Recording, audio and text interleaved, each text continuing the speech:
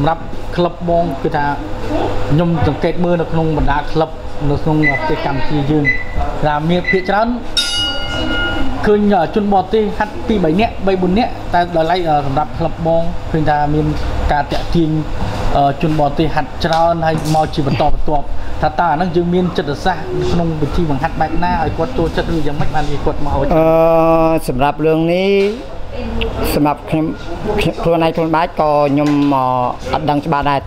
តែខ្ញុំអាចគិតថាពួកគាត់ភិកច្រើនគឺគាត់ចូលចិត្តកីឡាហើយសម្រាប់ការវឹកហាត់របស់ខ្ញុំគឺខ្ញុំវឹកហាត់យូរដែរធម្មតាយើងមានបែបមានបត់តាមក្លឹបនីមួយៗគេការបង្ហាត់អញ្ចឹងណា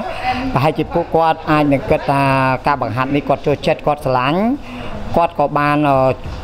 សប្បាយចិត្តគាត់ទៅវិញគាត់មកហាត់ទៀតគាត់នាំមិត្តភ័ក្ដិគាត់ម្នាក់ពីរនាក់ មកហាត់ទៀតទៅមិត្តភ័ក្តិគាត់ម្នាក់ពីរនាក់ហ្នឹងគាត់ចូលចិត្តយើងទៀតថាសบายចូលចិត្តនឹងការវឹកហាត់របស់យើងអញ្ចឹងទៅគាត់ចេះចេះថានិយាយតគ្នាទៀតទៅ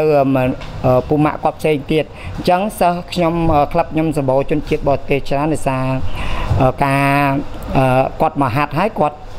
ចូលចិត្តគាត់ទៅនិយាយតតគ្នាហើយនឹងគេឆែកតាមអឺ ដូចយើងបង្ហោះតាមអ៊ីនធឺណិតអីចឹងទៅគាត់ឆែកមើលទៅគាត់ឃើញក្លឹបយើងជិះគាត់មកសាកសាកទៅគាត់ចូលចិត្តចឹងទៅគាត់ក៏និយាយតគ្នាតាមគ្នាបានជាក្លឹបរបស់ខ្ញុំមានជនជាតិបរទេសភាគច្រើនគាត់ចូលចិត្តមហាត់ទេអញ្ចឹងខ្ញុំក៏អត់ទាន់នឹងច្បាស់ថាអឺអារម្មណ៍ពួកគាត់ទឹកចិត្តពួកគាត់ là គាត់ចូលចិត្តអីមែនតើឬក៏អីមែនតើសម្រាប់ការវឹកហាត់របស់ខ្ញុំគឺខ្ញុំវឹកហាត់ជាជាធម្មតាអញ្ចឹងខ្ញុំផ្ដល់អ្វីដែលខ្ញុំមាន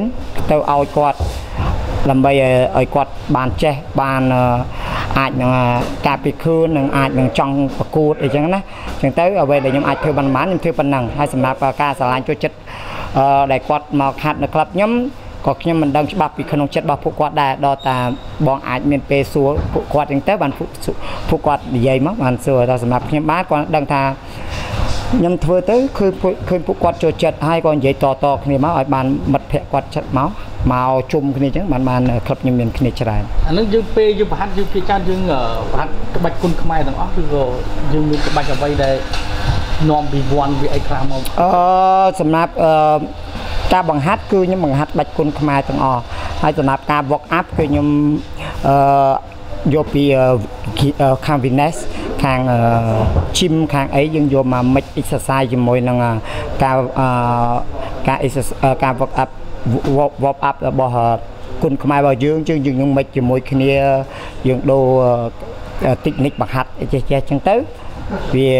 មានអានេះវាមានបែបមានបត់តាមការបង្ខាត់តាមក្លឹបរបស់ខ្ញុំអញ្ចឹងណាបាទជាទូទៅអឺបើអត់មានកូវីដអីថាតើមួយថ្ងៃមួយខែមើលសិស្សបរទេសប្រហែលអ្នកដែរជុំសម្រាប់ចំនួនសិស្សបរទេសក្នុង មួយខែបើថាអត់មានជំងឺកូវីដខ្ញុំអាចដូចថាខ្ញុំគិតថាក្នុងមួយម៉ោងខ្ញុំអាចមានសិស្សទៅ15ទៅ10អ្នកឡើងទៅហៅថា15 16 17 18អ្នកអញ្ចឹងក្នុង1ម៉ោងអញ្ចឹងរយៈពេល3ម៉ោងមាន10អ្នកជាង10អ្នកជាង3ម៉ោងអញ្ចឹងចំនួនសិស្សវាវាបោកចុះគ្នាវាខ្ញុំអត់អាចគិត បានទៅហើយ30 40នាក់អញ្ចឹងក្នុងមួយថ្ងៃអញ្ចឹងណាហ្នឹងចំនួនសិស្សហ្នឹងទៅតាមតាមថ្ងៃខ្លះដែរពួកគាត់ដូរឆ្លាស់ម៉ោងហាត់អញ្ចឹងចានោះគាត់បងជាខែឬក៏បងជាថ្ងៃសម្រាប់អឺសម្រាប់ក្លឹបខ្ញុំខ្ញុំមានបងជាថ្ងៃបងជាម៉ោងក៏មាន បងជាខែក៏មាន បងជាការ10ដងក៏មានហើយបងជាឆ្នាំក៏មានដែរបាទបាទអរគុណច្រើនបងបាទអរគុណ